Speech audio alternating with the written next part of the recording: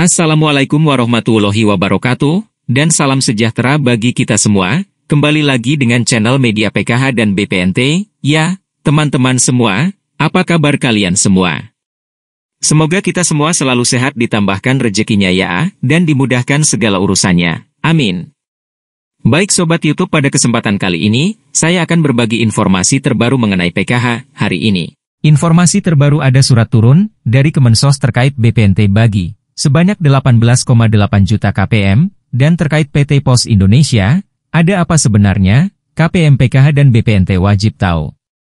Nah bagaimana informasi selengkapnya? Maka dari itu simak terus videonya jangan di skip-skip ya, supaya tidak terjadi gagal paham dalam menyerap informasi yang disampaikan. Namun sebelum itu bagi yang belum subscribe, silahkan di subscribe ya, dan berikan jempol like-nya jika dirasa bermanfaat.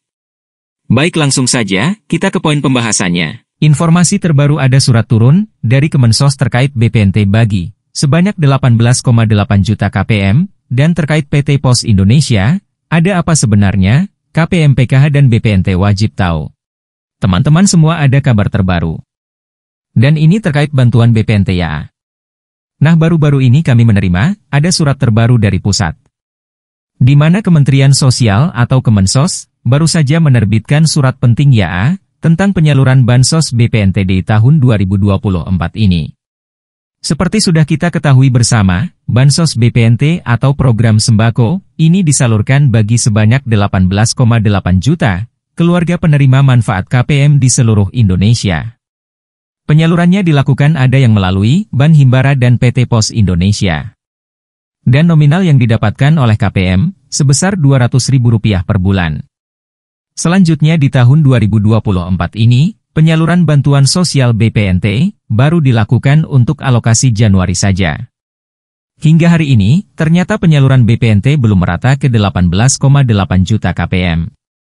Oleh sebab itu Kementerian Sosial memiliki inisiatif untuk menghentikan pencairan bansos BPNT yang dilakukan melalui PT Pos Indonesia. Namun kalian jangan khawatir dulu ya, penghentian BPNT yang melalui PT Pos, itu tidak dilakukan secara permanen, melainkan hanya sementara saja ya. Selanjutnya para KPM PKH dan BPNT, ini perlu mengetahui ketentuan mengenai penghentian Bansos BPNT tersebut, ini tertuang dalam surat nomor 74154 BS 00 eh Februari 2024, tertanggal 24 Februari tahun 2024. Perihalnya tentang penghentian, penyaluran Bansos BPNT sufiks A dan B, dan PKH tahap 1 sufiks A tahun 2024, dihentikan mulai tanggal 24 Februari tahun 2024. Selanjutnya Kementerian Sosial akan melakukan pengolahan data menambahkan bulan bayarnya menjadi tiga bulan, Januari sampai dengan Maret tahun 2024.